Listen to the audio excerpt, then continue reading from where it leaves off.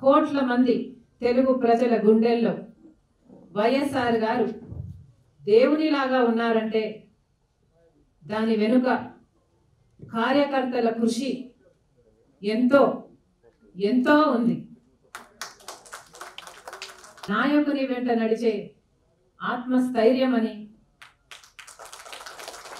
ఎదురు దెబ్బ తగిలిన ప్రతిసారి మేమున్నామంటూ ధైర్యాన్ని ఉత్సాహాన్ని నింపేది కార్యకర్తలని నాకు తెలుసు. కార్యకర్తలంటే నినాదాలు చేసే వాళ్ళే కాదు నాయకుణ్ణి నిత్యం ప్రజల దగ్గరకు చేర్చే వాళ్ళని. కార్యకర్తలంటే జనాన్ని తెచ్చే వాళ్ళే కాదు జనం గొంతు నాయకుని దగ్గరికి చేర్చే వాళ్ళని. కార్యకర్తలంటే జెండాలు మోసే వాళ్ళే కాదు. జనం గుండె చప్పుడు విని అజెండాలు కూడా రాయగలరని నా నమ్మకం.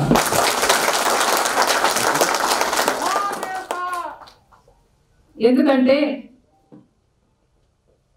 ప్రజల సమస్యలు వాళ్ళ సమస్యలుగా భావించి ఆ సమస్యలు తీర్చడానికి రోజు పోరాడే జీవితమే కార్యకర్తలు.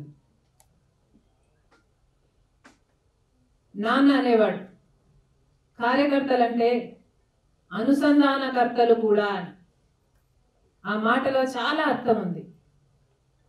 కార్యకర్తలంటే వైఎస్ఆర్ గారికి అపారమైన అభిమానం గౌరవం.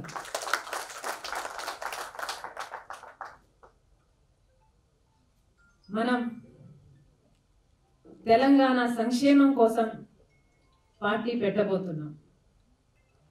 రాబోయే వైఎస్ఆర్ జయంతి రోజున జూలై ఎనిమిదో తేదీన మన పార్టీని మనము స్థాపించబోతున్నాం.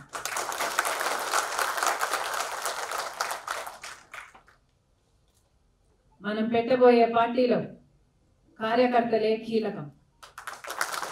వాళ్ళకే పెద్దపీట వేస్తాం.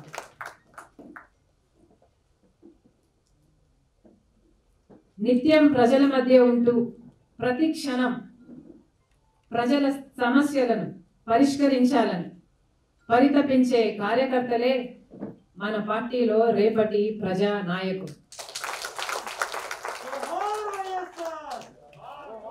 అంతేకాదు ప్రజల గుండె చప్పుడు ప్రజల నాడిని అతి దగ్గరగా వినేది కార్యకర్తలే కనుక. వాళ్ళు చెప్పిందే మన పార్టీ సిద్ధాంతం కావాలి. వాళ్ళు చెప్పిందే మన పార్టీ రాజ్యాంగం కావాలి.